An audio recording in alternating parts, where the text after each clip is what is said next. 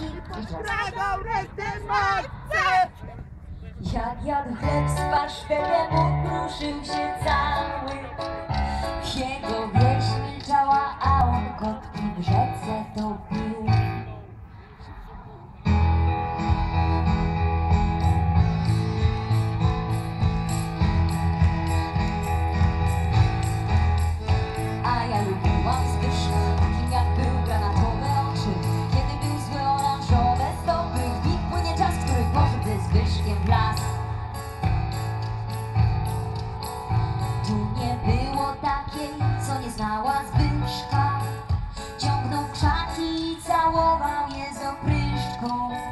Pod paznokciem trzymał serce i swój świat, które zjadał